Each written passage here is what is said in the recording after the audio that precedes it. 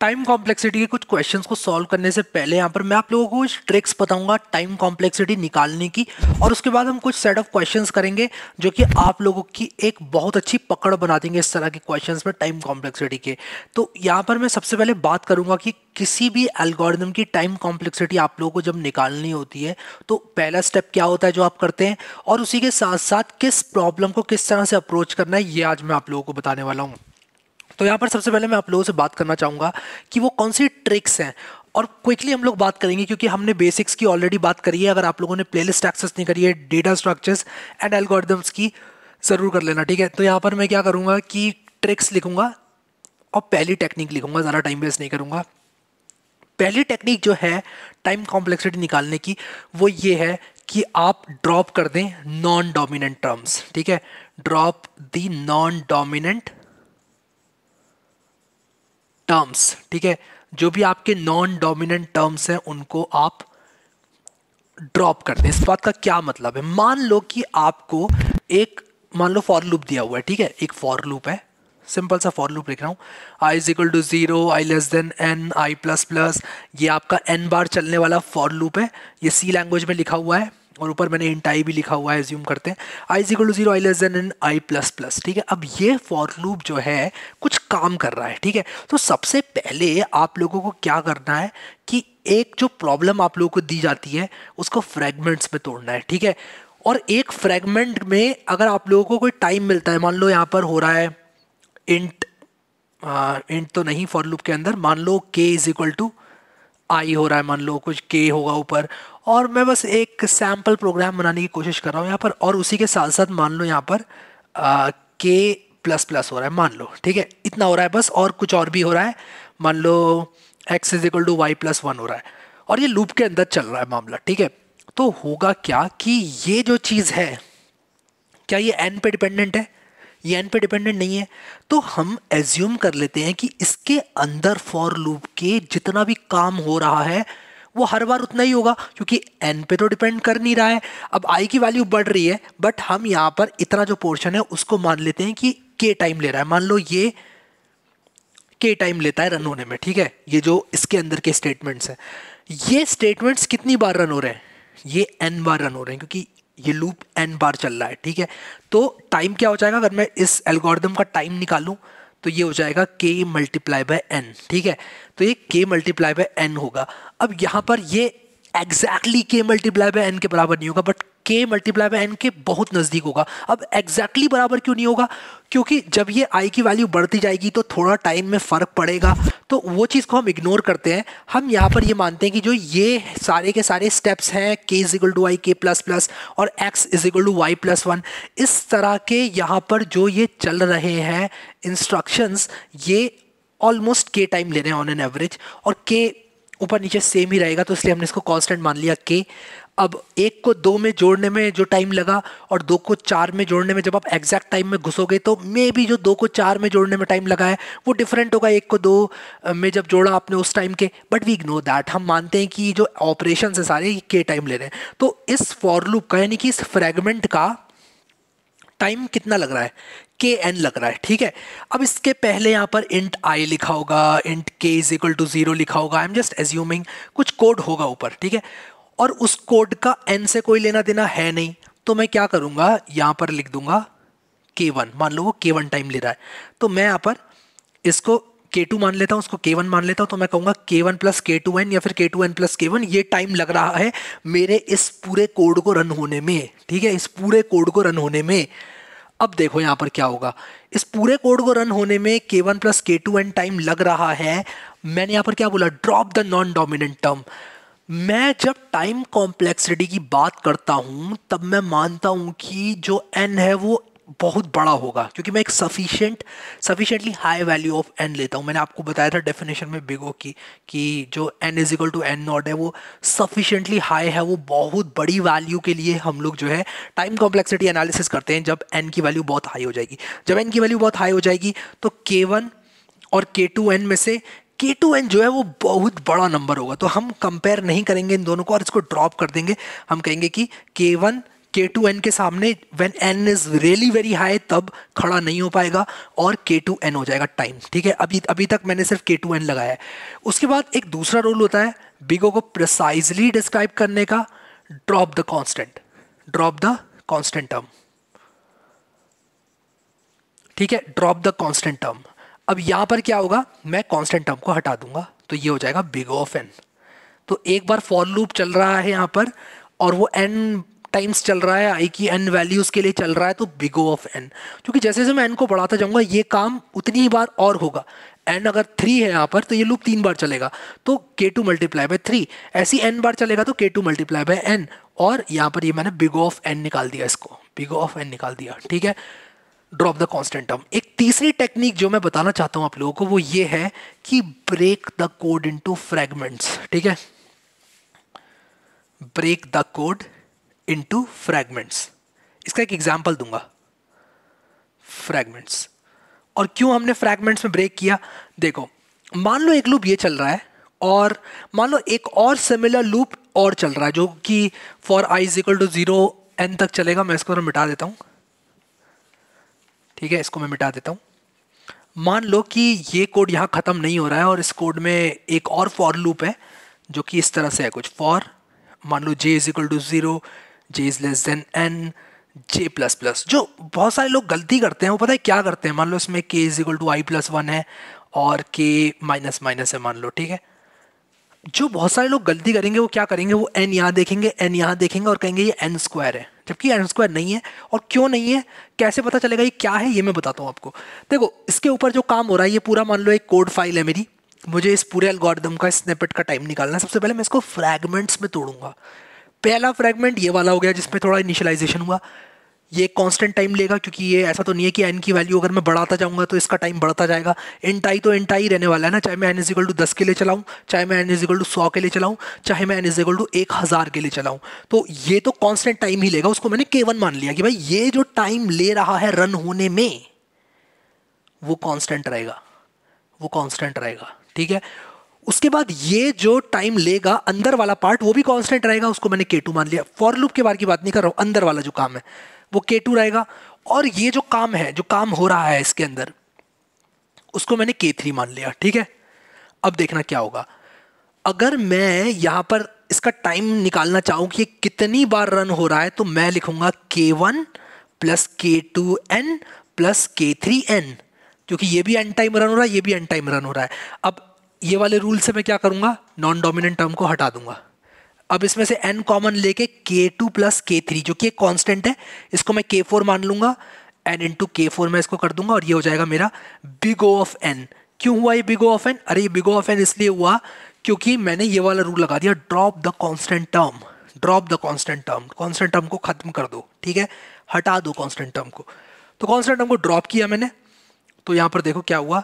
K one plus k two n plus k three n उसमें से के one हटाया पहले एन कॉमन लिया के टू प्लस के थ्री को माना के फोर और उसके बाद बिगो ऑफ़ एन तो अगर अलग अलग फॉर लूप हैं, तब वो भी बिगो ऑफ़ एन लेते हैं। अगर आप के फोर भी ऐड कर दोगे ना, एक और k is equal to zero k less than n करोगे, और उसको देखोगे तो वो बिगो ऑफ़ एन ही निकलेगा। ठीक है? एन स्क्वायर नहीं होगा। ठीक है? याद रखना आप इस चीज़ को। अब एक और मैं एग्ज़ाम्पल लेना चाहता हूँ जो कि इंपॉर्टेंट है। तो यहाँ पर एक और एग्ज़ाम्पल ले रहा हूँ उसके बाद हम क्वेश्चन सॉल्व करेंगे। ऐसा नहीं है कि हम क्वेश्चन सॉल्व नहीं करेंगे बट यहाँ पर मैं एग्ज़ाम्पल लेके आप लोगों को ये समझाना चाहता हूँ कि इन प्रॉब्लम्स को अप्रोच किस तरह से किया जाता है। ठीक है? तो ये जो हमारा फॉर लूप है इसके ऊपर ही मैं बनाऊँगा। तो मैं थोड़ी सी स्पेस बनाऊँगा यहाँ पर और आ, इसके ऊपर मान लो के टाइम लग रहा है जो भी कोड हमने लिखा था उसको मैं रहने दूँगा ऊपर ही। और नीचे यहाँ पर क्या करूँगा मैं एक और फॉल लगाऊँगा इसके ऊपर। मान लो ये नेस्टेड फॉल लूप है। I is equal to zero i is less than n i plus plus और इस फॉर लूप के अंदर एक और फॉर लूप है, उसको मैं जे कर देता हूँ। इसको मैं जे कर देता हूँ। ठीक है? और उसी के साथ साथ यहाँ पर क्या है? मैं j is less than n कर रहा हूँ। ये एन बार चलेगा, इसका ये बंद हुआ, इसका ये बंद हुआ। ठीक है? तो ये जो चीज़ है, ये एक और फॉर लूप के अंदर है। तो ये डबल नेस्टेड फॉर लूप है। फॉर लूप के अंदर फॉर लूप है। ठीक है? मुझे इंडेंट बनाना चाहिए था फॉर यहाँ से स्टार्ट करना चाहिए था, थोड़ा अच्छा दिखता। बट आप यहाँ पर समझ जाओ। मैं अगर यहाँ पर थोड़ी स्पेस बना ही लूँ तो कैसा रहेगा? अगर मैं इसको यहाँ से स्टार्ट करूँ फॉर तो ये इसके अंदर ये लूप है, ठीक है? अब बताओ इसकी टाइम कॉम्प्लेक्सिटी कैसे निकलेगी? अब अगर आप इसको देख के बोलोगे कि यार ये भी बिगो ऑफ़ एन है पिछले वाले की तरह तो नहीं, ये बिगो ऑफ़ एन नहीं है, मैं बताता हूँ क्यों नहीं है बिगो ऑफ़ एन ठीक है? देखो, मुझे क्या करना है? मुझे टी एन निकालना है, ठीक है? जो मैंने बताया था आपको। इसके ऊपर कुछ कोड होगा जो कि के वन लेगा। अब मैं इतना समझदार हो गया हूँ क्वेश्चन कर करके और आप भी हो गए होंगे। कि यार ये के वन तो नॉन डोमिनेंट होना ही है। तो कांस्टेंट को तो अगर ऐड भी हो रहा है तो हटा ही देंगे हम लोग, ठीक है? तो इस के वन का तो कोई मतलब ही नहीं है, लेकिन तब भी मैं लिख देता हूँ एक बार और। हम क्वेश्चन में फिर उसके बाद इस के वन को इग्नोर करेंगे, मैं नहीं बताऊँगा बार बार क्योंकि अब आपको समझ में आ ही गया यार कि अगर कोई कांस्टेंट जुड़ रहा है टाइम तो उसको नहीं लेते हैं, ठीक है? और क्यों नहीं लेते हैं, हमने देख लिया, क्योंकि वो बाद में नॉन डोमिनेंट वैसे ही हो जाना है, ठीक है? तो के वन अब उसके बाद ये के टू काम ले रहा है। लेकिन ये के टू कितनी बार चलेगा, ठीक है? तो ये मैं कैसे पता लगाऊँगा? तो के टू काम होगा बट कितनी बार होगा? ये देखना पड़ेगा यहाँ पर। और ये मैं कैसे देखूँगा कि के टू कितनी बार चलेगा? तो एक बार तो आई की वैल्यू ज़ीरो होगी, ठीक है? एक बार आई की वैल्यू क्या होगी? ज़ीरो होगी। और उसके बाद जे की वैल्यू ज़ीरो होगी। तो एक बार तो i is equal to zero j is equal to zero के लिए चलेगा, ठीक है? फिर आई की वैल्यू ज़ीरो है, क्योंकि पहले अंदर वाला लूप चलेगा, एक बार आई की वैल्यू ज़ीरो हो गई तो फिर j is equal to one हो जाएगा। फिर ज़ीरो टू फिर ये एन तक चलेगा, ठीक है? तो एक आई की वैल्यू के लिए एन बार चल रहा है। ध्यान से देखना, ध्यान से देखना बहुत। एक आई की वैल्यू फिर बाद में क्वेश्चन दूँगा, फिर सॉल्व नहीं हुआ तो बता रहा हूँ। आई की वैल्यू ज़ीरो होगी और उसके बाद ये क्या हो रहा है? एन बार चल रहा है। फिर आई की वैल्यू वन हो जाएगी, फिर से ये एन बार चलेगा। फिर आई की वैल्यू क्या होगी? वन होगी एन बार चलेगा। तो क्या होगा यहाँ पर? ये एन बार चल रहा है i is equal to one के लिए। ठीक है i is equal to one के लिए एन बार चल रहा है ये। और उसके बाद ये एन बार चल रहा है i is equal to one के लिए आई इज़ टू ज़ीरो के लिए। Similarly i is equal to n के लिए भी ये एन बार चलेगा, ठीक है? और एन को जब एन बार जोड़ोगे तो क्या आएगा?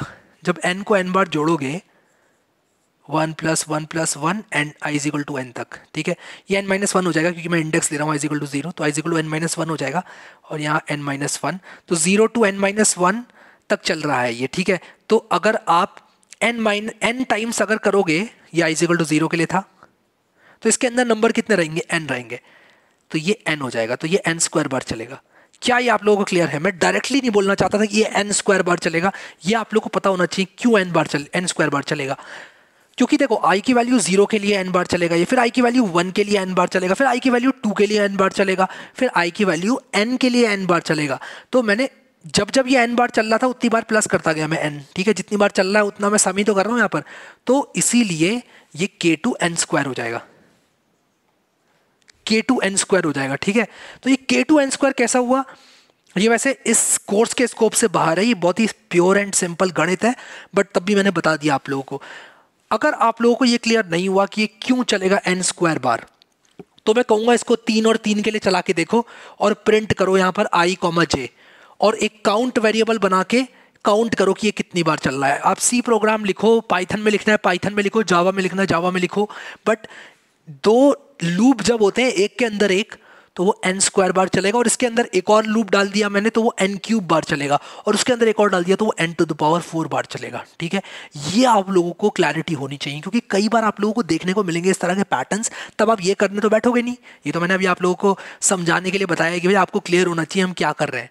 ठीक है? तो अब इस तरह के टर्म को देखकर आपको इतना टाइम नहीं लगना चाहिए कि आप कह रहे हो कि भाई ये नॉन डोमिनेंट है, ये कांस्टेंट है बिग ऑफ़ एन स्क्वायर आप देखते ही बता दो, इसको आपकी आँखें खुद ही इग्नोर कर दें और बड़ा वाला टर्म देख के उसका जो हाईएस्ट डिग्री वाला टर्म है वो ले लें बिग ऑफ़ एन स्क्वायर हो जाएगा, ठीक है? तो ये सारी टेक्निक्स हैं जो कि हम यूज़ करेंगे और ज़्यादा टेक्निकें नहीं है, ये बस दो तीन टेक्निकें हैं। बाकी वो जो बिगो की definition big O omega big theta की पड़ी थी that was just for clarity यहाँ इतने से काम हो जाना है हमारा, ठीक है, इतने से काम हो जाना है। कुछ और केसेस होते हैं जिसमें क्या करना पड़ता है, जब रिकर्सिव कॉल लगती है तो हमें गिनना पड़ता है रिकर्सिव कॉल को।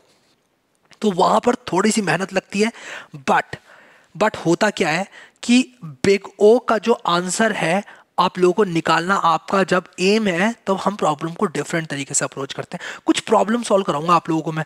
यहाँ पर ये तो ट्रिक्स थी जो कि मैंने आप लोगों को बताई कि भाई अगर इस तरह से डबल फॉर लूप है तो एन स्क्वायर हो जाता है सीधे, और बट आँख बंद करके कभी सॉल्व मत करना क्वेश्चन क्योंकि आप लोगों को फंसाया जा सकता है। हो सकता है इसके अंदर एक रिकर्सिव कॉल डाल दें वो क्वेश्चन को थोड़ा सा कॉम्प्लिकेटेड करने की। तो वो उस तरह के क्वेश्चन थोड़ा हाई लेवल के होते हैं बट हम वो भी करेंगे और लेवल को बढ़ा के करेंगे सिंपल क्वेश्चन से थोड़ा ऊपर को जाएँगे। तो चलो क्वेश्चन सॉल्व कर लेते हैं, बहुत इंपॉर्टेंट है। ऑलराइट गैस अब टाइम आ चुका है यार थोड़ी प्रॉब्लम्स को सॉल्व करने का, और मैंने आप लोगों के लिए एक पूरा प्रॉब्लम सेट बना के रखा हुआ है यहाँ पर। अगर आप लोगों ने अभी तक ये प्लेलिस्ट एक्सेस नहीं करी है। कौन सी playlist data structures and algorithms की प्लेलिस्ट तो ज़रूर कर लेना यार इसको एक्सेस क्योंकि यहीं पर सारे वीडियोस आने वाले हैं। मैं सारे वीडियोस यहीं पर डालूँगा। और अभी मैं यहाँ पर करने क्या वाला हूँ कि मैं कुछ प्रॉब्लम्स आप लोगों के लिए मैंने जो शॉर्ट लिस्ट करी है, उनको मैं सॉल्व करूँगा। और मैं यहाँ पर वन नोट का इस्तेमाल कर रहा हूँ। बहुत सारे लोग पूछते हैं कौन सा सॉफ्टवेयर आप यूज़ करते हो। और मैं एडिटिंग में काफ़ी उड़ा देता हूँ। ऊपर वाला पार्ट जो है तो आपको सिर्फ़ इतना दिखता है। कुछ वीडियोज़ में तो आप लोग पूछते हो, यार कौन सा सॉफ्टवेयर है? तो ठीक है, अभी मैं नहीं उड़ा रहा हूँ। आई होप आपको यहाँ पर मैं अच्छे से समझा पाऊँगा वन नोट में। तो यहाँ पर क्या है कि मैंने एक नोटबुक बना रखी है वन नोट में और यहाँ पर ये जो डॉक्यूमेंट है, जो कि मैं आपको वैसे भी पीडीएफ में कन्वर्ट करके दे दूँगा, वो मैंने यहाँ पर कुछ क्वेश्चंस हैंड पिक किए हैं, जो कि यहाँ पर मैं आप लोगों को देने वाला हूँ। और मैंने उन, उनके प्रोग्राम्स भी बनाकर आपको दिए हुए हैं। तो अगर आप लोग इसको यहाँ पर देखो, मैंने ये फोल्डर खोला हुआ है विजुअल स्टूडियो कोड में तो आप लोगों को यहाँ पर पता चलेगा मैंने कुछ प्रोग्राम्स भी बनाए हुए हैं और उसी के साथ साथ मैंने यहाँ पर टाइम कॉम्प्लेक्सिटी नाम का फोल्डर बनाया हुआ है, जिसके अंदर मैंने ये वन नोट नोटबुक डाली हुई है। ठीक है, मैंने यहाँ पर ये क्वेश्चन दे रखा है बिल्कुल क्लियरली तो प्रॉब्लम नहीं होनी चाहिए। तो आ जाता हूँ मैं वापस से यहाँ पर अपने वन नोट नोटबुक में और पहले क्वेश्चन को टैकल करते हैं। जो क्वेश्चन हैं, उनके प्रोग्राम्स मैंने यहाँ पर बना रखे हैं तो मैं क्या करूँगा, इसको क्लोज टू द राइट कर दूँगा। और पहला जो क्वेश्चन है, उसका प्रोग्राम आप लोग यहाँ पर देखो। और ये क्वेश्चन क्या कह रहा है, सबसे पहले ये देख लेते हैं। तो ये क्वेश्चन कह रहा है कि find the time complexity of the function func one function in the program shown in program one dot c as follows ठीक है? तो एक प्रोग्राम वन डॉट सी करके फ़ाइल है और ये फ़ाइल क्या है? Uh, इसमें एक फ़ंक्शन है और ये एक सी प्रोग्राम है ऑब्वियसली क्योंकि मैं सी में भी करा रहा हूँ, लेकिन अगर आप जावा पाइथन या किसी और प्रोग्रामिंग लैंग्वेज में भी कोड एनालाइज करते हो तो स्टेप्स एकदम सेम रहेंगी। तो यहाँ तक अगर आप किसी दूसरी प्रोग्रामिंग लैंग्वेज से आते हो तो कुछ बदलने वाला नहीं है, क्योंकि जो डेटा स्ट्रक्चर एंड एल्गोरिदम्स है, वो एक स्टडी है जो कि प्रोग्रामिंग लैंग्वेज पे उतनी ज़्यादा डिपेंड नहीं करेगी, क्योंकि वो जो स्टडी है, उसमें इम्प्लीमेंटेशन आप लोगों को हाँ थोड़ा अलग अलग प्रोग्रामिंग लैंग्वेज में अलग अलग होगा but you can totally follow अगर आप कोई दूसरी प्रोग्रामिंग लैंग्वेज यूज़ कर रहे हैं तो ठीक है? तो मैं यहाँ पर एक पेन सेलेक्ट कर लेता हूँ और यहाँ पर मैं क्या करूँगा कि इस प्रॉब्लम को सॉल्व करूँगा। तो ये कह रहा है कि find the time complexity of the func one function in the program shown in program one dot c as follows ठीक है? तो यहाँ पर क्या है कि एक फंक वन करके फ़ंक्शन है, ये एक एरे है और ये फंक वन करके फ़ंक्शन है और ये एरे क्या कर रहा है? ये एरे पास हो रहा है फंक वन फ़ंक्शन को और देखते हैं फंक वन क्या कर रहा है उस एरे के साथ। तो यहाँ पर int sum is equal to zero लिख कर आ रहा है product is equal to one लिख कर आ रहा है। तो बेसिकली ये सम और प्रोडक्ट को कैलकुलेट कर रहा है। देखो, अगर आप लोग देखो यहाँ पर लेंथ पास हो रही है एरे की, जो कि तीन है और ये यहाँ पर ज़ीरो से टू एन माइनस वन जाएगा ये लूप तो जैसे कि मैंने आप लोगों को बताया था अभी थोड़ी देर पहले कि जब आपको किसी एल्गोरिदम को एनालाइज करना है तो सबसे पहले आप उसको फ्रैगमेंट्स में तोड़ लो। तो मैं क्या करूँगा, सबसे पहले इसको इस पहले फ्रैगमेंट में तोड़ूँगा और मैं इसका नाम रख दूँगा F1 ठीक है? तो इस फ्रैगमेंट का नाम मैंने F1 रख दिया, इसका नाम F2 रख दूँगा फ्रैगमेंट का, और इस वाले फ्रैगमेंट का नाम मैं क्या कर दूँगा F3 रख दूँगा, ठीक है? तो हमारे पास अभी तीन फ्रैगमेंट्स आ गए हैं F1 F2 और F3 तो मैं F1 plus f two plus f three का जो टाइम होगा, वो इस पूरे फ़ंक्शन का ओवरऑल टाइम मानूँगा। F1 का टाइम क्या होगा? कुछ कांस्टेंट होगा, क्योंकि आप sum is equal to zero product is equal to one कर रहे हो हर बार। एरे की लेंथ पर वो डिपेंड नहीं कर रहा है। तो मैं इसको मान लूँगा K1 ठीक है? तो मैंने इसको K1 मान लिया। F2 को मैं क्या मानूँगा? F2 को मैं K नहीं मान सकता। मैं मानूँगा इसको के टू मल्टीप्लाई बाय एन क्योंकि ये लूप एन बार चल रहा है। अगर मैं लेंथ को एन मानूँ तो ये एन बार चल रहा है, देखो यहाँ पर। तो आप यहाँ पर लेंथ भी लिख सकते हो, लेकिन क्योंकि मैंने यहाँ पर थोड़ा बड़ा लिख दिया वेरिएबल का नाम लेंथ इसलिए मैं लेंथ नहीं लिख रहा हूँ। बेसिकली जो लेंथ होगी वो वेरिएबल इनपुट होने वाला है इस फ़ंक्शन को तो f two is equal to k two n हो गया और f three is equal to k three n हो गया। ठीक है तो मैंने आप लोगों को ऑलरेडी बताया यहाँ पर। अब यहाँ पर मैंने आई आई यूज़ किया है तो मैं I am free to use it मैंने यहाँ पर आई यूज़ किया है और मैं फिर से दूसरे लूप में आई यूज़ कर सकता हूँ जे भी यूज़ कर सकता हूँ। तो उससे आप कन्फ्यूज़ मत होना। अब अगर मैं टोटल टाइम कॉम्प्लेक्सिटी निकालूँ, यानी कि अगर मैं टी एन निकालूँ तो वो क्या होगा? टी एन मेरा हो जाएगा f one plus f two plus f three ठीक है, ये हो जाएगा। और f one plus f two plus f three क्या हो जाएगा मेरा? K one plus k two n plus k three n और यहाँ पर मैं क्या करूँगा? क्योंकि मैंने आप लोगों को ऑलरेडी बताया था कि आप नॉन डोमिनेंट टर्म को ड्रॉप कर सकते हैं, इसलिए मैं इसको ड्रॉप कर दूँगा और मैं सिर्फ़ इतने को लेके आगे चलूँगा। और मैं यहाँ पर अब इक्वल टू नहीं लिखूँगा क्योंकि ये बराबर नहीं होगा। अब इसके मैंने सिर्फ़ ड्रॉप किया है नॉन डोमिनेंट टर्म और मैं यहाँ पर लिख दूँगा k two plus k three into n और के टू प्लस के थ्री को मैं क्या लिख सकता हूँ? के टू प्लस के थ्री को मैं एक दूसरा कॉन्स्टेंट लिख सकता हूँ और मैं लिख सकता हूँ उसको के फोर एन तो इसलिए ये एल्गोरिदम है मेरा बिग ऑफ़ एन ठीक है तो ये बिग ऑफ़ एन टाइम में चलेगा वेर एन इज़ लेंथ तो क्योंकि क्वेश्चन में लेंथ दिया हुआ है, इसलिए मैं इसको बिग ऑफ़ लेंथ करके रिपोर्ट करूँगा। जहाँ भी मुझे देना है आंसर मैं बिग ऑफ़ लेंथ कहूँगा, क्योंकि ये जो एल्गोरिदम बात कर रहा है, वो लेंथ के टर्म्स में बात कर रहा है। यहाँ पर देखो, आप ये लेंथ के टर्म्स में बात कर रहा है। ये लेंथ वेरिएबल होने वाली है इस फंक वन फ़ंक्शन को, ठीक है? सो आई होप ये आप समझ गए होगे तो इसका आंसर है बिग ओ ऑफ़ लेंथ ठीक है? अगले क्वेश्चन की तरफ़ आते हैं। और मैंने ये program one dot c by the way आपको दिया हुआ है तो आप इसको चला के भी देख सकते हो। अलग अलग इनपुट के लिए आप चला के देख सकते हो, या फिर आप अगर इसका इम्प्लीमेंटेशन करना चाहते हो किसी दूसरी प्रोग्रामिंग लैंग्वेज में feel free to do that feel free to do that as well आप वो भी कर सकते हो, ठीक है? सो गैस यहाँ पर चलते हैं दूसरे जो हमारा क्वेश्चन है उसकी तरफ़। क्या ये फाइंड द मैंने फाइंड लिख दिया यहाँ पर यार, चलो इसको करेक्ट कर लेंगे। ऊपर भी फाइंड लिख दिया मैंने, इसको फाइंड करना है यार, ये फाइंड है। कोई बात नहीं, यार गलतियाँ तो छोटी मोटी हो जाती हैं। तो find the time complexity of the func function in the program from program two dot c as follows तो इस प्रोग्राम को देखो, आप मैंने यहाँ पर प्रोग्राम टू डॉट सी करके भी बनाया हुआ है। तो आप लोग इस प्रोग्राम टू डॉट सी को खोल कर भी देख सकते हो, वरना ये प्रोग्राम टू डॉट सी अगर नहीं भी देखना चाहो आप तो यहाँ पर मैंने ये लिखा हुआ है तो ऐसी कोई प्रॉब्लम होनी नहीं चाहिए आप लोगों को। वन नोट के अंदर यहाँ पर ये प्रोग्राम है मेरा, मैंने ये डॉक आप लोगों के साथ शेयर कर दिया डिस्क्रिप्शन में आप ले सकते हो।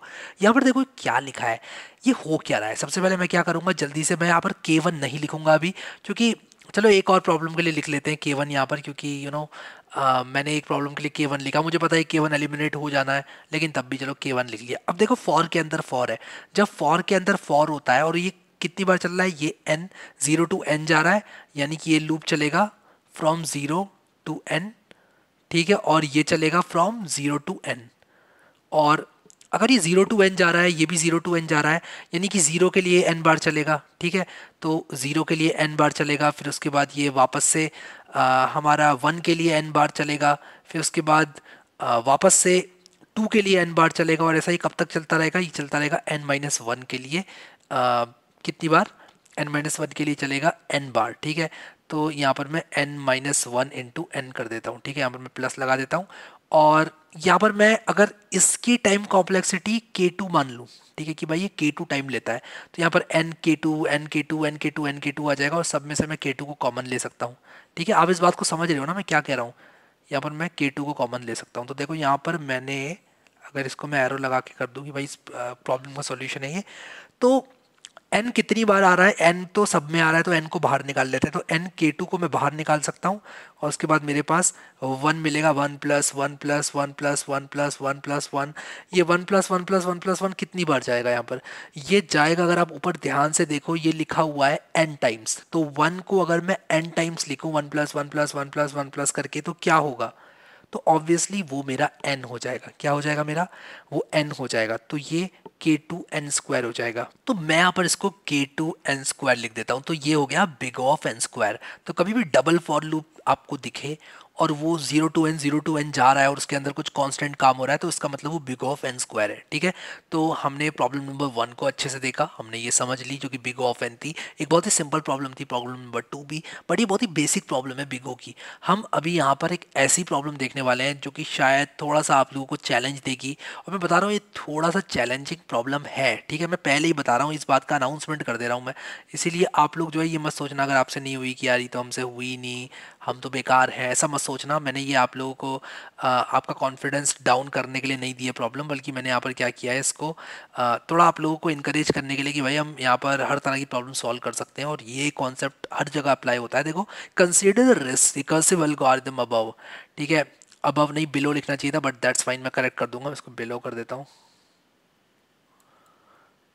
Where the random int n spends one unit of time to return a random integer ठीक है तो यहाँ पर एक रैंडम फ़ंक्शन है जो कि वन यूनिट ऑफ़ टाइम लगाता है which is evenly distributed within the range zero to n मैंने दो बार लिख दिया ज़ीरो टू एन मैंने बहुत जल्दीबाजी में टाइप कर दिया, इसको मुझे सब करेक्ट करना पड़ेगा. If the average processing time is t n what is the value of t six तो यहाँ पर बेसिकली आपको टी एन का एक्सप्रेशन निकालना है कि भाई ये कितना टाइम ले रहा है, ये जो हमारा फ़ंक्शन है, ये कितना टाइम लेगा? बस ये निकालना है टी एन निकल गया तो टी सिक्स भी निकल जाएगा। तो यहाँ पर सवाल क्या है? सवाल ये है कि आप टी सिक्स निकालो। तो टी सिक्स एक छोटा नंबर है। अगर मैं डायरेक्टली टी सिक्स के लिए सॉल्व करूँ तो शायद मेरा काम यहाँ पर बन जाएगा, ठीक है? लेकिन क्या होगा, लोग क्या करेंगे कि टी एन का एक्सप्रेशन डिराइव करने की कोशिश करेंगे विच इज़ पॉसिबल मैं नहीं कह रहा हूँ कि इम्पॉसिबल है, लेकिन मेरे हिसाब से सिक्स एक प्रेटी छोटा नंबर है और आप लोग डायरेक्टली प्रॉब्लम को सॉल्व करो। टी सिक्स को ही डायरेक्टली सॉल्व करो तो अच्छा रहेगा। तो मैं क्या करूँगा यहाँ पर? टी सिक्स के लिए ही डायरेक्टली प्रॉब्लम को सॉल्व करने की कोशिश करूँगा और अगर ये सिंपल हुई प्रॉब्लम तो टी एन का एक्सप्रेशन भी निकाल सकते हैं। तो यहाँ पर देखते हैं इस फ़ंक्शन में हो क्या रहा है। सबसे पहले इंटाई इसको मैं के वन बोल दूँगा कि भाई ये तो कुछ कांस्टेंट काम कर रहा है। और यहाँ पर अगर एन की value less than equal to zero है तो ये रिटर्न हो जा रहा है। और उसके बाद नीचे वाला काम नहीं होगा अगर ये n n is less than या इक्वल टू ज़ीरो है। लेकिन यहाँ पर क्या हो रहा है रिकर्सिवली ये एक रैंडम फ़ंक्शन को कॉल कर रहा है जो कि वन यूनिट ऑफ़ टाइम ले रही है। तो मैं क्या करूँगा इसको इसको वन लिख दूँगा, ठीक है? और मैं कहूँगा कि भाई ये वन यूनिट टाइम ले रहा है। और बाकी इसमें लिखा हुआ है कि अगर ये वन यूनिट ऑफ़ टाइम ले रहा है तो बाकी को हम एज्यूम कर सकते हैं कि वो ना के बराबर टाइम ले रहा है। तो मैं यहाँ पर इसको ज़ीरो कर दूँगा। और आपको मैंने के वन को ज़ीरो क्यों कर दिया? मैंने के वन को ज़ीरो इसलिए कर दिया क्योंकि लिखा हुआ है कि random one unit of time ले रहा है और it would have been fair अगर मैं यहाँ पर लिख देता कि भाई बाकी जो रैंडम के अलावा कॉल्स हैं वो ज़्यादा टाइम नहीं ले रही हैं, ठीक है? मैं अगर ये लिख देता तो ये क्वेश्चन और फेयर हो जाता तो मैं इसमें ऐड कर लेता हूँ कि बाकी की जो कॉल्स हैं वो नहीं ले रही हैं ज़्यादा टाइम तो यहाँ पर आप लोग देखो रैंडम कितनी बार कॉल होगा बेसिकली ये क्वेश्चन है, ठीक है? तो रैंडम अगर वन यूनिट ऑफ़ टाइम ले रहा है तो आपको ये बताना है कि average processing time t n है तो टी सिक्स की वैल्यू क्या होगी? तो मुझे बेसिकली ये बताना है कि रैंडम कितनी बार कॉल होगा t is equal to six के लिए। तो यहाँ पर देखो मैं क्या कर रहा हूँ। अब रैंडम यहाँ पर क्या कर रहा है, मैं आपको ये भी बता देता हूँ। मैंने यहाँ पर ये भी लिखना चाहिए था रैंडम क्या कर रहा है। तो थोड़ा सा क्वेश्चन इनकम्प्लीट है, मैं इसको कंप्लीट कर दूँगा, लेकिन मैं भी आपको बताता हूँ कि क्वेश्चन क्या है? मैं भी कंप्लीट कर देता हूँ। रैंडम क्या करेगा? अगर आपने रैंडम मान लो, लिखा सिक्स तो ये क्या करेगा? ये आपको ज़ीरो टू सिक्स के रेंज में आपको देगा। तो देखो, यहाँ पर मैंने लिखा हुआ है return random integer which is evenly distributed within the range zero to one तो ये ज़ीरो टू सिक्स के बीच में आपको कोई भी नंबर रिटर्न करके दे देगा, ठीक है? यानी कि एकदम रैंडम है, ठीक है? तो ज़ीरो टू सिक्स के बीच में कुछ भी आपको रिटर्न करके मिल जाएगा, ठीक है? तो मैं काम करता हूँ, यहाँ पर कलर चेंज कर लेता हूँ। और कलर चेंज मैं करता हूँ मैं रेड कलर में कर लेता हूँ, क्योंकि क्या होगा ना, रेड कलर में अगर मैं करूँगा तो पर्पल में कर लेता हूँ। तो आपको क्वेश्चन वन और क्वेश्चन टू में डिफरेंस पता चल जाएगा कि ये दोनों अलग अलग क्वेश्चन का सॉल्यूशन है। अब देखो यहाँ पर मैंने क्या किया है कि ये फ़ंक्शन लिखा है तो मुझे बस ये निकालना है कि टी सिक्स क्या कर रहा है। तो अगर टी सिक्स मैंने यहाँ पर लिखा, मैं इसका ना रिकर्शन से करूँगा। टी सिक्स रिकर्सिवली अपने आप को कॉल कर रहा है। टी आई के लिए और t n minus one minus i के लिए। तो अगर टी सिक्स जब कॉल होगा ध्यान से देखना मैं यहाँ पर क्या कर रहा हूँ। जो टी सिक्स कॉल होगा जब यहाँ पर, तब वो यहाँ पर तो ज़ीरो टाइम होगा। तो एक बार रैंडम को कॉल करेगा ही वो, क्योंकि सिक्स जो है वो less than equal to zero तो है नहीं। तो वो एल्स में जाएगा इफ़ में नहीं जाएगा वो। ध्यान से देखना आप लोग। इफ़ में नहीं जाएगा वो एल्स में जाएगा, ठीक है? तो ये बात तो मुझे पता चल गई कि टी इक्वल टू सिक्स के लिए वो एल्स में जा रहा है। और वन यूनिट ऑफ़ वर्क भी कर रहा है वो। तो मैं यहाँ पर जोड़ लूँगा कि भाई ये वन यूनिट ऑफ़ वर्क कर रहा है, ठीक है? तो मैं यहाँ पर वन लिख दूँगा इस तरह से, ठीक है? अब क्या कर रहा है वो? वन यूनिट ऑफ़ वर्क के साथ साथ वो दो और अपने चाइल्ड फ़ंक्शंस को कॉल कर रहा है, ठीक है? और वो क्या है? टी आई और n minus one minus i लेकिन यहाँ पर क्या आप लोगों ने एक चीज़ देखी कि आई तो रैंडम है। आई यहाँ पर देखो रैंडम है, जो कि zero to n minus one के बीच में कुछ भी हो सकता है। यानी कि इस केस में वो ज़ीरो टू फाइव के बीच में कुछ भी हो सकता है। तो मैं क्या लूँ वैल्यू उसकी अब क्योंकि यहाँ पर इन्होंने दिया हुआ है कि वो रैंडम है तो मैं कुछ भी ले सकता हूँ। इसका मतलब यह है कि वो कुछ भी हो आंसर सेम आएगा। आंसर सेम आएगा। ऐसा मैंने क्यों एज्यूम किया? मैंने एज्यूम इसलिए किया क्योंकि क्वेश्चन ही कुछ इस तरह से है, ठीक है? अब यहाँ पर मैं आपको ये भी बताऊँगा कि आंसर सेम क्यों आएगा, लेकिन अभी मान लेते हैं, इस बात को एज्यूम कर लेते हैं कि मैं यहाँ पर आई की कोई भी वैल्यू ले लूँ नंबर ऑफ़ कॉल्स जो होंगी जो भी टी की कॉल्स होंगी नंबर ऑफ़ कॉल्स वो सेम आएँगी, ठीक है? तो यहाँ पर हम अभी क्या करेंगे? मान लो मैंने आई की वैल्यू को ज़ीरो कर दिया, मान लो मान लो ज़ीरो कर दिया। तो अगर मैं आई की वैल्यू को ज़ीरो कर दूँ तो ये फ़ंक्शन ज़ीरो हो जाएगा, ये हो जाएगा टी ज़ीरो ठीक है? और अगर आप लोग यहाँ पर देखो टी ज़ीरो जो है वो कुछ काम नहीं करता है, ठीक है? कुछ काम नहीं करता है। क्यों? क्योंकि वो यहीं पर रिटर्न हो जाएगा, वो रैंडम पे नहीं आएगा। N is equal to zero के लिए ये कॉल ज़ीरो काम करेगी। तो मैं यहाँ पर स्पैरो लगा के ज़ीरो लिख दूँगा, यानी कि टी ज़ीरो में मुझे नहीं जोड़ना है कुछ। और उसी के साथ साथ ये टी फाइव को कॉल करेगा, ठीक है? उसके बाद मैं इसको तोड़ लूँगा टी ज़ीरो और टी फोर में, ठीक है? टी ज़ीरो और टी फोर में। उसके बाद मैं इसको तोड़ लूँगा टी ज़ीरो और टी थ्री में। उसके बाद मैं इसको तोड़ लूँगा टी ज़ीरो और टी टू में, ठीक है? तो यहाँ पर मैं इसको तोड़ लूँगा टी ज़ीरो और टी टू में। सिमिलरली मैं इसको तोड़ लूँगा टी ज़ीरो और टी वन में और इसको मैं टी ज़ीरो टी ज़ीरो में तोड़ लूँगा, जिसका मतलब है कि ये कुछ नहीं है। तो अभी जो टी ज़ीरो टी ज़ीरो वाले मेरे कॉल्स आ रहे हैं, वो तो ज़ीरो यूनिट ऑफ़ टाइम ले रहे हैं, लेकिन ये मेरा वन यूनिट ऑफ़ टाइम लेगा, ये मेरा वन यूनिट ऑफ़ टाइम लेगा, ये मेरा वन यूनिट ऑफ़ टाइम लेगा, ये वन यूनिट ऑफ़ टाइम लेगा, और ये कितने हैं? कितना कितना टाइम लेगा ये? One two three four five six इसका मतलब छः बार यहाँ पर रैंडम कॉल होगा तो इसका आंसर आ जाएगा छः ठीक है?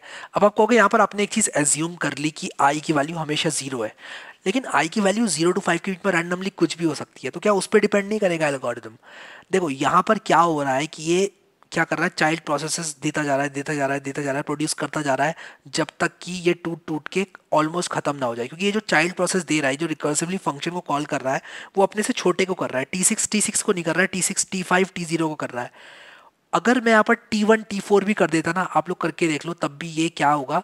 तब तक ये टूटता रहेगा टूटता रहेगा, जब तक कि ये टी ज़ीरो टी ज़ीरो ना हो जाए। सब जगह लीफ नोट सारे टी ज़ीरो ना हो जाए, तब तक ये चलता रहेगा। और उस केस में भी आपको एक दो तीन चार पाँच छः मिलेंगी कॉल्स ठीक है? मैंने इसका फ़ंक्शन लिखा हुआ है एक। मैंने प्रोग्राम बनाया हुआ इसका program three dot c in fact it's program four dot c या प्रोग्राम टू डॉट सी है। प्रोग्राम फोर डॉट सी है। हाँ प्रोग्राम फोर डॉट सी है। तो मैंने रैंडम को इम्प्लीमेंट किया हुआ है यहाँ पर। और uh, मैंने यहाँ पर क्या किया है कि यहाँ पर दिस लिख दिया है। दिस का मतलब है कि जब भी रैंडम कॉल होगा तो ये प्रिंट एफ़ भी रन हो जाएगा, ठीक है? तो जितनी बार दिस प्रिंट हो रहा है, उसका मतलब कि उतने कॉल्स होंगे। तो मैं अगर अभी इसको रन करके दिखाऊँ तो आप लोग देखो छः बार मेरा प्रिंट हो जाएगा दिस ठीक है? तो एक, दो, तीन, चार, पाँच छः वापस से मैं इसको रन करूँ तो एक, दो, तीन, चार, पाँच छः छः बार दिस कॉल हो रहा है। तो यहाँ पर रैंडम जो है मेरा, जो वैल्यू दे रहा है रैंडम वो रैंडमली दे रहा है ज़ीरो टू एन के बीच में। तो अब ज़रूरी नहीं है कि आप इसको मैथमेटिकली वेरीफाई करो इस चीज़ को, लेकिन क्योंकि ये क्वेश्चन पूछा गया है तो आप रैंडमली कुछ भी ले सकते हो और आप, अगर आपका इंटरव्यू और मान लो बोलता है बाद में आपको कि यार मैंने तो यहाँ पर रैंडमली ले ली तो क्या इस पर डिपेंड नहीं करेगा। अगर आप श्योर नहीं हो तो आप बोल सकते हो अपने इंटरव्यूअर को कि यार मैं श्योर नहीं हूँ कि ये सेम होगा या नहीं होगा, लेकिन क्योंकि आपने बोला मैं रैंडमली कुछ भी ले सकता हूँ, इसलिए मैंने रैंडमली कुछ भी ले लिया। इंटरव्यू जब भी आप देते हो, एक कोडिंग इंटरव्यू खासकर तो आपको हमेशा सही होने की ज़रूरत नहीं होती है वहाँ पर। आप एक तो ऑनेस्ट रहो दूसरे के साथ साथ आप उसको कुछ करके दिखाओ क्योंकि अगर वो आपसे एक सवाल पूछना ब्लैंक हो गए तो उसको नहीं पता चलेगा आपको क्या आता है।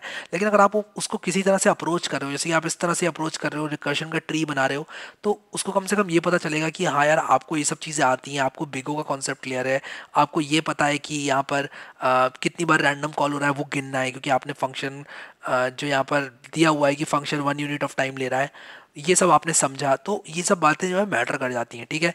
चलो, ये क्वेश्चन थोड़ा सा ट्रिकी था और मुझे लेना था एक क्वेश्चन ट्रिकी और अगर आपको ये समझ में नहीं आया तो मैं कहूँगा पीछे करके दोबारा देख लो। बट बेसिकली यहाँ पर क्या किया है मैंने, इसको इसको ब्रेक डाउन किया है बस। जब ये छः के लिए रन होगा तो मैंने इसको ब्रेक डाउन किया है। आप इसको एन के लिए ब्रेक डाउन करके ये प्रूव कर सकते हो, ऐसा प्रूव किया जा सकता है कि रैंडम कुछ भी वैल्यू हो जो आपका आई की वैल्यू है, उस पर डिपेंड नहीं करेगा ये, जब तक कि वो zero to n minus one तक ना हो। जब तक कि वो zero to n minus one के अंदर हो सॉरी तो zero to n minus one तक जब तक आई रहेगा, तब तक इस पर कोई फ़र्क नहीं पड़ेगा। इस नंबर ऑफ़ कॉल जो है, वो छः ही रहेंगी। और मैंने यहाँ पर प्रैक्टिकली आपको इसको रन करके दिखा दिया कि ये रैंडम जो है रैंडमली जनरेट कर रहा है नंबर्स को। इसको मैंने रन किया, तब भी छः ही आ रहा है और बार बार छः आएगा, ठीक है? आप इसको लूप में भी डाल के चेक करा सकते हो कि छः आ रहा है कि नहीं। ठीक है? सो वन नोट पे वापस आते हैं। और यहाँ पर देखो चौथी प्रॉब्लम क्या करिए और चौथी प्रॉब्लम बहुत सिंपल है। Which of the following are equivalent to big o of n and y ये बिगो ऑफ़ एन इनमें से कौन से, कौन सा बिगो ऑफ़ एन के इक्वलेंट है और क्यों? चलो, पहले वाले को देखते हैं। तो ये एन प्लस पी है और पी मुझे पता है कि एन बाय नाइन से छोटा है, यानी कि वो नॉन डोमिनेंट टर्म है। ठीक है? पी क्या है? नॉन डोमिनेंट टर्म है। यहाँ पर क्वेश्चन में साफ़ साफ़ लिखा हुआ है। मैं काम करता हूँ, ज़रा जो अपना पेन है उसको ज़रा चेंज कर लेता हूँ। ये कर लेता हूँ। तो देखो, ये नॉन डोमिनेंट टर्म है, जैसे कि आपको दिख रहा है। थोड़ा सा पतला पेन चाहिए यार। हाँ तो नॉन डोमिनेंट टर्म है तो इसलिए मैं इसको क्या लिख सकता हूँ? मैं इसको लिख सकता हूँ, इसको यहाँ पर मैं लिख सकता हूँ बिगो ऑफ़ एन तो ये बिगो ऑफ़ एन है, ठीक है? इसको देखते हैं नाइन एन माइनस के जहाँ के कॉन्स्टेंट है तो कॉन्स्टेंट को तो मैं ऐसे एलिमिनेट कर सकता हूँ, और ये हो जाएगा बिगो ऑफ़ एन क्योंकि मैं नाइन को भी एलिमिनेट कर दूँगा, ये नॉन डोमिनेंट टर्म की वजह से एलिमिनेट हुआ, ये कॉन्स्टेंट की वजह से एलिमिनेट हुआ, ठीक है? तो ये जो कांस्टेंट है, वो नाइन एन के सामने बहुत बड़े एन की वैल्यू के लिए नॉन डोमिनेंट हो जाएगा और नाइन एक कांस्टेंट है एन के साथ, इसलिए मैंने हटा दिया। ये भी बिग ऑफ़ एन है। तो ये है ये है, इसको देखते हैं क्या ये है। ये भी दिख रहा है क्योंकि एट लॉग एन जो है, वो नॉन डोमिनेंट टर्म है। ठीक है, ये एन के सामने डोमिनेट नहीं कर पाएगा। लॉग एन बहुत स्लोली ग्रो करता है। एन लॉग एन से ज़्यादा ग्रो करता है। अगर ग्राफ बनाऊँ मैं लॉग एन का तो वो कुछ ऐसा आएगा और एन ऐसा आएगा लॉग एन ऐसा आएगा। तो बहुत बड़ी वैल्यू के लिए ये जो एन है वो हमेशा ऊपर रहेगा लॉग एन की, ठीक है? सो ये भी बिग ऑफ़ एन है। इसको देखते हैं एन प्लस एम स्क्वायर अब यहाँ पर अगर एम एक कांस्टेंट है, मैंने यहाँ पर लिखना चाहिए था बाय द वे यहाँ ब्रैकेट में कि वेयर के इज़ अ कांस्टेंट ऐसे लिखना चाहिए था, मैंने लिखा नहीं बट मुझे लिखना चाहिए था के इज़ अ कांस्टेंट मैं यहाँ पर इस क्वेश्चन में ऐड कर दूँगा के इज़ अ कांस्टेंट क्योंकि अगर पता नहीं है आपको कि के क्या है कांस्टेंट है या नहीं, जैसे कि यहाँ पर एन और एम है। ये big of n plus m square algorithm है, ये बिग ऑफ़ एन नहीं लिखा जा सकता क्योंकि एम भी अगर इनपुट है तो आप उसको इग्नोर नहीं कर सकते। तो सी बिग ऑफ़ एन है डी बिग ऑफ़ एन नहीं है, ठीक है? तो मैं क्वेश्चन में जो मैंने डिटेल्स ऐड नहीं करी है, वो सब डिटेल्स भी ऐड कर दूँगा तो मैं डॉक जो है वो अपना अपडेट कर दूँगा, ताकि आप लोग जब बिना क्वेश्चन को देखे आंसर को देखे क्वेश्चन सॉल्व करो तो आपको प्रॉब्लम ना हो, ठीक है? अब यहाँ पर देखते हैं पांचवा सवाल क्या है। तो हमने एक, दो, तीन, चार सवाल सॉल्व कर लिए बहुत बढ़िया। ठीक है तो ये भी सॉल्व हो गया, इस पर भी टिक लगा देता हूँ बड़ा सा ठीक है, अब यहाँ पर मैं देखता हूँ कि the following simple code sums the values of all the nodes in a balanced binary search tree अब यहाँ पर आपको बाइनरी सर्च ट्री थोड़ा सा बताता हूँ, ज़्यादा नहीं बताऊँगा थोड़ा सा बताऊँगा, ठीक है? और उतने से जो है आपका काम हो जाएगा। मैं बताऊँगा आगे, बहुत अच्छे से बताऊँगा आपको। टेंशन मत लेना आप लोग। बट अभी सिर्फ़ इस क्वेश्चन के लिए बता रहा हूँ। एक बाइनरी सर्च ट्री जो होता है, उसको कुछ ऐसा समझ लो कि ये एक नोड होता है, ठीक है? और कुछ इस तरह से होता है वो, ठीक है? तो मैं इसमें थोड़ा जूम कर लेता हूँ। तो वो कुछ इस तरह से होता है और एक और नोड होता है यहाँ पर हमारे पास। यहाँ पर भी एक और नोड होता है, ठीक है? और वापस से इसके अंदर एक पॉइंटर होता है जो दूसरे नोड को पॉइंट कर रहा होता है और ये दो दो नोड को पॉइंट कर रहे होते हैं, ठीक है? तो आप अगर बैलेंस बाइनरी सर्च ट्री के बारे में पढ़ोगे तो मैं आपको आगे बताऊँगा वैसे, लेकिन अगर नहीं पता तो बस ये समझ लो कि यहाँ पर एक स्ट्रक्चर है जिसमें दो पॉइंटर है, जो कि दो अलग अलग सेम टाइप के नोड को पॉइंट कर रहे हैं, ठीक है, इस तरह से। अब ये एल्गोरिदम क्या कर रहा है देखो, क्योंकि ये क्वेश्चन बहुत स्ट्रेट फॉरवर्ड है, मैं यहाँ पर आपको डिटेल में जाना ही नहीं पड़ेगा। ये क्वेश्चन ऐसा है कि देखते ही सॉल्व हो जाएगा। ऐसा लिया है मैंने एग्ज़ाम्पल तो आप लोग देखो इसको। ये क्या कर रहा है? फॉलोइंग जो भी कर रहा है, देखो इसमें लिखा है कि ये सारी वैल्यूज़ को सम कर रहा है। Sum sums the value of all the nodes ये खुद ही बता दिया इसने कि भाई, ये सम कर रहा है value of all the nodes जब क्वेश्चन एक बात खुद ही बोल रहा है तो क्वेश्चन अपने आप को कभी कॉन्ट्राडिक्ट नहीं करेगा। ठीक है? तो इसका मतलब ये है कि क्वेश्चन नहीं बता दिया कि ये सारे नोट्स की वैल्यूज़ का सम कर रहा है। और ये कह रहा है इसका रन टाइम क्या है। अगर मैं मानूं कि एन जो है, मैं यहाँ पर लिख देता हूँ n is the number of nodes number of nodes तो इसका रन टाइम क्या होगा? आप मुझे बताओ कमेंट करके टाइम स्टैम्प लगा के। मैं चाहता हूँ आप आप बताओ, ये क्या कर रहा है कि सबसे पहले तो सम करेगा इसको, ठीक है? फिर ये क्या कर रहा है? ये कह रहा है, इसका सम कर लो, इसके लिए कॉल कर लो उस सम को। फिर कह रहा है, इसके लिए कॉल कर लो, अगर ये नोड नल है, यानी कि इसके नीचे कोई और नोड नहीं है तो ये क्या कर रहा है रिटर्न कर दे रहा है ज़ीरो और यहाँ पर ये नोड की वैल्यू जो है वो सम हो जाएगी बैक ट्रैक होके। ये रिकर्शन है बेसिकली ठीक है? लेकिन मैं यहाँ पर आप लोगों को एक बात रियलाइज़ कराना चाहता हूँ कि ये कोड कितना काम कर रहा है? ये कोड हर नोट के लिए सेम काम कर रहा है ऑलमोस्ट ठीक है? हर नोट के लिए। तो जितने नोट्स होंगे वो बिगो हो जाएगा ये। थोड़ा सा मैंने आपको डायरेक्ट बता दिया यहाँ पर ये बिग ऑफ़ एन हो जाएगा। मैं आपको बता रहा हूँ। बट यहाँ पर आप इसको समझने की कोशिश करो अगर कि ये क्या कर रहा है।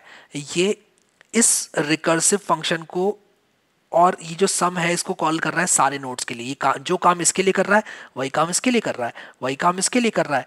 और फाइनली जो नीचे के नोट्स हैं उनके लिए कुछ काम नहीं कर रहा है बट ये जब ग्रो करेगा ट्री तब ये जो एन है नंबर ऑफ़ नोट उस पर डिपेंड करेगा इसका रन टाइम तो ये मैंने यहाँ पर डायरेक्टली आपको बता दिया बट अगेन हम बैलेंस बाइनरी सर्च ट्री की बात करेंगे, और ये बहुत ही तेज़ी से मैंने सॉल्व कर दिया इस प्रॉब्लम को तो यहाँ पर बस आप लोग ये ध्यान रखना कि कभी भी इस तरह की प्रॉब्लम को जल्दीबाजी में सॉल्व नहीं करते हैं। अब अगर आपको बैलेंस बाइनरी सर्च ट्री नहीं पता है तो हो सकता है आप डर ही जाओ उस क्वेश्चन से। आप इंटरव्यूर को ही बोल दो यार, मुझे नहीं पता और ये तो बहुत बड़ा रेड फ्लैग होगा। अगर आपने उसको ये बोल दिया कि मुझे बैलेंस बाइनरी सर्च ट्री के बारे में नहीं मालूम, तब तो वो ऑब्वियसली उसी बंदे को प्रेफर करेगा जिसको आता है ये सब चीज़ें। बहुत सिंपल है, मैं आपको बताऊँगा आगे बट अभी के लिए हम लोग अगले क्वेश्चन पे चलते हैं और इस क्वेश्चन पे आप वापस आ सकते हो और वापस आके इसको रिविजिट कर सकते हो और इसको देख सकते हो, क्योंकि ये जो क्वेश्चन है, ये बैलेंस बाइनरी सर्च ट्री पर डिपेंड करता था बट मैंने आप लोगों को एक इस आइडिया से बता दिया कि भाई ये हर नोट के लिए सेम काम कर रहा है, इसलिए बिग ऑफ़ एन है। क्योंकि जब ये ग्रो करेगा, जो ट्री है वो ग्रो करेगा इनपुट साइजेस का ग्रो करेगा तो ये सारे नोट्स के लिए ऑलमोस्ट सेम काम कर रहा है। आप देख सकते हो यहाँ पर। तो नोड अगर नल हो जाए, यानी कि अगर जो नोड है नोड ही नल हो जाए, अब ये वाला नोड नल नहीं है अभी, ये पॉइंट कर रहा है नल को, ठीक है? ये नल को पॉइंट करता है, अगर आपने बाइनरी सर्च ट्री नहीं पढ़ा है। वैसे इट्स नॉट फेयर कि मैं भी आपको ये सब बताऊँ, मैं आपको आगे बताऊँगा। बट अगर ये नल को पॉइंट कर रहे हैं दोनों तो इसका मतलब ये क्या कर रहा है? इसके लिए भी उतना ही काम कर रहा है। नीचे वालों के लिए भी उतना ही काम कर रहा है बेसिकली अगर आप ध्यान से देखो इसको तो। तो नीचे वालों के लिए भी कर रहा है, फिर इनके लिए ये रिटर्न ज़ीरो कर दे रहा है। तो ये सारे नोट्स के लिए सेम काम कर रहा है, इसलिए जितने नोट्स होंगे, उतना इसका रन टाइम होगा। तो अगर आप रन टाइम लिखो, आप के एन कर सकते हो टी एन को। और आप इसके बाद बिग ऑफ़ एन कर सकते हो। I think this is very clear अगर आपको इंटरव्यू कभी कभी हिंट भी दे सकता है, अगर आपको बैलेंस बाइनरी सर्च ट्री नहीं पता तो आपको बता सकता है बैलेंस बाइनरी सर्च ट्री क्या होता है।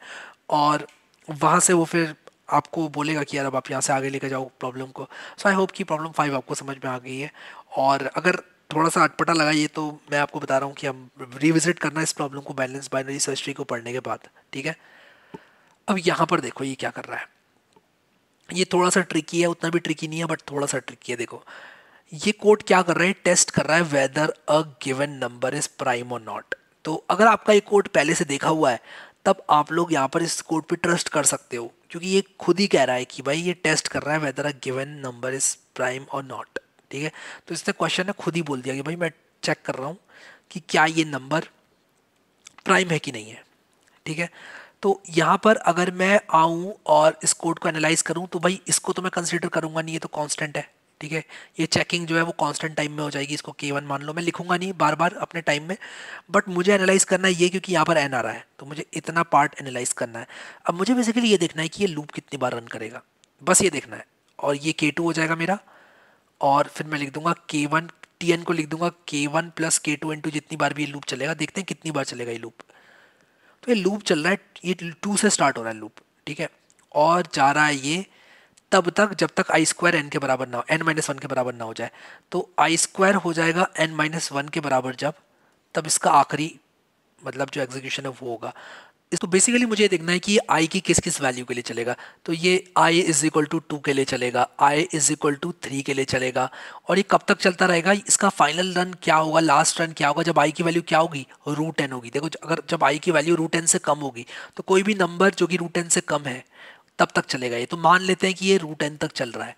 वैसे ज़रूरी नहीं है कि रूट एन तक ही चले क्योंकि एन की वैल्यू एन परफेक्ट स्क्वायर नहीं भी हो सकता है। बट मान लेता हूँ एन परफेक्ट स्क्वायर है वरना ये रूट एन का जो हमारा ग्रेटेस्ट इंटीजर होगा वहाँ तक चलेगा। ठीक है? मैं पर थोड़ा कॉम्प्लिकेटेड नहीं जाना चाहता इसलिए आप ये मान सकते हो कि ये रूट एन तक चलेगा।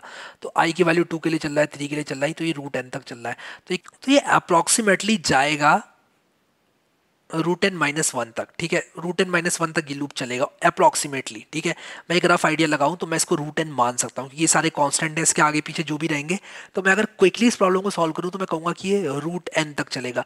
ये ऑलमोस्ट टू से स्टार्ट होके आई जब तक रूट एन ना हो जाए या रूट एन से कम ना हो जाए, वहाँ तक चल रहा है ये, ठीक है? तो ये ऑलमोस्ट रूट एन तक चलेगा, इसलिए मैं इसको बिग ऑफ़ रूट एन बोल सकता हूँ, ठीक है? तो यहाँ पर आपको कभी कभी अप्रॉक्सीमेशन भी लगाना पड़ जाएगा, ठीक है? क्योंकि इसके आगे पीछे प्लस माइनस में कहीं कांस्टेंट हो सकते हैं, लेकिन रूट एन जो है, वो डोमिनेंट टर्म होगा जब एन की वैल्यू बहुत बड़ी होगी और वो कांस्टेंट इसके सामने बिल्कुल भी खड़े नहीं होंगे। तो इसलिए ये हो जाएगा बिग ऑफ़ रूट एन ठीक है? तो सिक्स वाली प्रॉब्लम भी हमने सॉल्व कर ली है। अब ये जो सेवन प्रॉब्लम है ना, वो बहुत इंटरेस्टिंग है। आप लोग देखना यहाँ पर, जो यहाँ पर इस प्राइम को मैंने कॉल किया है, इसको मैंने एक नंबर भी देना चाहिए था। मान लो मैं 18 दे रहा हूँ उसको ठीक है? मैंने यहाँ पर एक गलती करी है, मैं इसे करेक्ट कर दूँगा। इस प्राइम के अंदर मुझे एक नंबर भी देना चाहिए था। ये कह रहा है what is the time complexity of the following code snippet इसने इस फ़ंक्शन का नाम इस प्राइम रख दिया है, ठीक है? लेकिन अगर आप लोग उसको गौर से देखोगे, तब आपको पता चलेगा कि ये प्राइम नंबर के लिए चेक नहीं कर रहा है। ये कुछ और कर रहा है। लेकिन आपका इंटरव्यूअर आपसे इस तरह का क्वेश्चन पूछ सकता है, क्योंकि वो आपसे एक्सपेक्ट करेगा कि आप एकदम से घबरा के बोल दो बिग ऑफ़ रूट एन क्योंकि आपने ऑलरेडी ये जो प्रॉब्लम है, ये वाली वो सॉल्व कर रखी है। तो वो चाहेगा कि आप घबरा जाओ और पहला के फुसला के आप बिग ऑफ़ रूट एन बोल दो जल्दी से और आप, आपको वो बोलते गलत, क्योंकि इसमें एन है ही नहीं। तो यहाँ पर क्या है कि ये पूरा एन पे डिपेंड नहीं कर रहा है। देखो एन ये इनपुट में तो ले रहा है, लेकिन एन कहीं आ ही नहीं रहा है नीचे। तो इसका मतलब ये कोई कांस्टेंट होगा उसको मैं के वन मान सकता हूँ क्योंकि एन की वैल्यू जितनी भी बड़ी हो ये तो दस हज़ार बार ही चल रहा है ना तो मैं इसका टाइम जो है उसको कांस्टेंट मान सकता हूँ और मैं टी एन को लिख सकता हूँ के वन और मैं इसको लिख सकता हूँ बिग ऑफ़ वन यानी कि ये कांस्टेंट टाइम में रन कर रहा है। अब अगेन सात क्वेश्चंस जो है हमने करे बिगो के एंड आई होप कि ये क्वेश्चंस आप लोगों को बहुत हेल्प करेंगे। मैं चाहता हूँ कि आप कहीं से भी आ, कुछ क्वेश्चंस जो है उठाए बिगो के इंटरनेट पर सर्च करके या फिर अगर आपको इस टेक्स्ट बुक वगैरह फॉलो कर रहे हैं तो आप वहाँ से उठा सकते हैं। आजकल क्वेश्चंस की कमी नहीं है, उनको सॉल्व करें उठाकर। आई होप कि ये सात क्वेश्चंस आपको बहुत हेल्प करेंगे। मैं एक काम और करूँगा, आगे और प्रॉब्लम्स के वीडियो बनाऊँगा, लेकिन मेरे हिसाब से अभी टाइम है हमारे पास आगे बढ़ने का। इस कॉन्सेप्ट को हम आगे लेकर जाते हैं, जो डेटा स्ट्रक्चर एंड एल्गोरिदम का कोर्स है। क्योंकि बिगो के ही बहुत सारे प्रॉब्लम अगर मैं सॉल्व करूँ तो मैं नहीं चाहता उसमें बहुत सारा मैं टाइम बिताऊँ। बट मैंने आप लोगों को बता दिया है कि आप बिगो की अब कोई भी प्रॉब्लम सॉल्व कर सकते हो। और बिगो की कुछ प्रॉब्लम सॉल्व करने के लिए आप लोगों को आगे भी जो जैसे बाइनरी सर्च ट्री की बात हुई थी स्टैक क्यूब वगैरह इन सब चीज़ों की बात हम अभी करेंगे, उन सब का यूज़ हो सकता है, वो सब चीज़ें इसमें मिक्स होके आ सकती हैं। तो जैसे जैसे वो सब चीज़ें मिक्स होंगी, हम बिगो की बात बार बार करते रहेंगे। तो this is not the end of this topic time complexity का ये अंत नहीं है, हम लोग और बात करेंगे इसकी, लेकिन I think for now this is enough of practice आप और करना चाहते हैं तो बहुत अच्छी बात है बट मेरे हिसाब से अभी प्रैक्टिस काफ़ी है। आगे हम और कर लेंगे प्रैक्टिस प्रैक्टिस तो हम करते ही रहेंगे क्वेश्चंस की। सो आई होप कि ये वीडियो आपको पसंद आया होगा। एक बात मैं आपसे दिल से कहना चाहता हूँ कि प्लीज़ इस प्लेलिस्ट को आप लोग शेयर कर दो। मैं आप लोगों के लिए बहुत सारी मेहनत कर रहा हूँ। आप लोगों के लिए मैंने नोट्स बना रखे हैं। इस चैप्टर के भी नोट्स आप लोगों को मिल जाएँगे डिस्क्रिप्शन में और ये जो शीट है, ये भी आपको मिल जाएगी। मैं आपको डाल के दे दूँगा। आई जस्ट होप कि आप लोगों को ये सब चीज़ें पसंद आ रही हैं और आप लोग जो है इन्जॉय कर रहे हो इस कोर्स को। अभी के लिए इस वीडियो में इतना ही guys Thank you so much, guys, for watching this video, and I will see you next time.